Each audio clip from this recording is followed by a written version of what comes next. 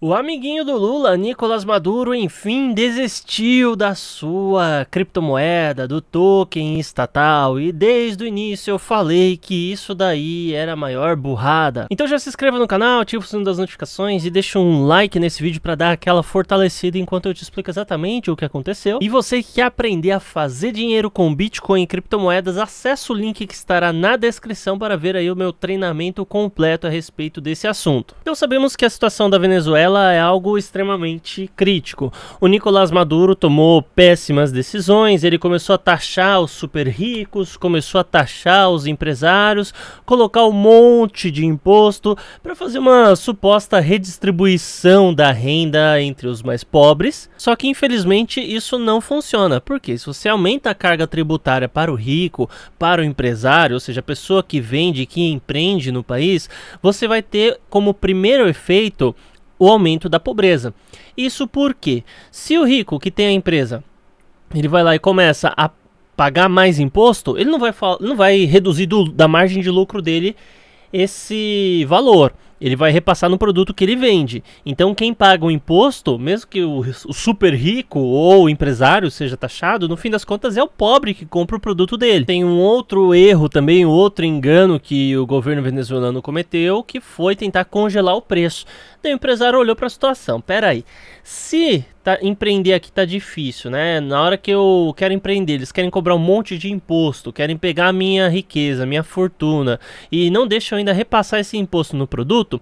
Então eu vou fazer o seguinte, eu vou pegar o meu dinheiro que está aplicado nesse país aqui, vou aplicar em outro, vou empreender em outro lugar. E foi o que aconteceu. O Nicolás Maduro na Venezuela espantou os empresários, prejudicou os pobres e cometeu todo tipo de erros eh, de administração que alguém poderia cometer. Para conter a situação, ele decidiu imprimir mais dinheiro. Olha que maravilha, né? Por que não? Por que não? Todo mundo imprime mais dinheiro. Todos os governos começam a imprimir mais dinheiro de forma indiscriminada.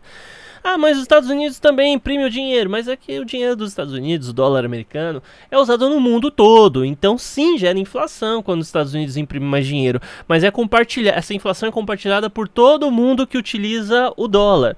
É, então, isso fez com que, como só a Venezuela utilizava o dinheiro venezuelano, o dinheiro desvalorizou de uma maneira terrível. É, inclusive, o Rodrigo Ambrise, que hoje tem o canal Bitcoin Block, ele foi já fazer um documentário na Venezuela e era assim, o pessoal teve uma, uma hora que não tinha mais como negociar as coisas e começou a vender o dinheiro por peso. Aliás, começou a trocar os produtos por, por um quilo em dinheiro, seja de qualquer moeda. Né? Enfim, o, papel que o dinheiro era impresso muitas vezes estava valendo mais do que o dinheiro em si. Foi uma situação caótica. E o governo, olhando para o aumento do Bitcoin, para a usabilidade e tudo mais, falou assim: peraí, vou fazer o meu Bitcoin, vou fazer a minha moeda, que é o Petro, lastreado justamente no petróleo, né, no, na, na riqueza nacional e isso vai resolver o problema. E na verdade não, a característica fundamental do Bitcoin é a descentralização. Ou seja, é não ter nenhum governo, não ter Estado, não tem ninguém que mande diretamente no Bitcoin. Né? Inclusive, o Bitcoin é verdadeiramente democrático, porque todo mundo que faz parte ali da rede é que toma as decisões. Então pode chegar qualquer pessoa, qualquer Zé Mané pode chegar lá e propor uma melhoria ou, ou alguma modificação para o Bitcoin. Por exemplo, eu quero dobrar a quantidade de Bitcoins vigentes. Se a maior parte da rede não aceitar aquilo, aquilo não vai para frente, não, não, não funciona. Não adianta tentar forçar um fluxo, tentar forçar uma situação que isso daí não acontece. Na pior das hipóteses, se uma grande parte das pessoas aderirem a essa mudança, isso se chama consenso é, se as pessoas aderir, grande parte, não a maior parte, mas grande parte aderir, ainda pode acontecer um hard fork, né? Ou seja, a rede se divide. Parte continua na versão nova, com a nova implementação, e outra parte continua na versão antiga. Mas ainda assim, é uma coisa que realmente funciona. Sem contar que quando você utiliza Bitcoin, estou falando de passando por dentro de corretor, estou falando o uso raiz, né? Você utilizar através da venda P2P, ou seja, comprando e vendendo através de uma outra pessoa, ou produto no dia a dia. É, você está com a sua criptomoeda dentro da sua carteira. O governo não pode ver quanto dinheiro você tem, não pode bloquear o seu dinheiro e muito menos tirar da sua carteira. Então, essas características são fundamentais para a existência do Bitcoin. E o Petro não tinha nada disso, só era uma moeda que, em vez de ser impressa, era digital. E a moeda digital ao invés de você colocar uma impressora para imprimir mais, você pode simplesmente modificar um código de computador. É, umas pessoas colocam lá a senha, fazem a alteração e pronto. Você, entre aspas, imprimiu digitalmente bem mais dinheiro. Então, o Petro, ele nunca fez sentido nenhum. A existência do Petro é uma coisa absurda. Não, não veio para solucionar nada. No, no, máximo fez o governo economizar com impressão de papel. E os próprios bancos não estavam querendo aceitar o Petro. E é por isso que o Bitcoin e as criptomoedas funcionam tão bem na Venezuela. Porque lá você tem a opção de começar uma espécie de escambo, trocando mercadorias ou você pode utilizar a moeda estatal que só desvaloriza e está debaixo de uma péssima administração. Ou você pode comprar dólar, que às vezes é um tanto burocrático, é mais sujeito à fiscalização governamental.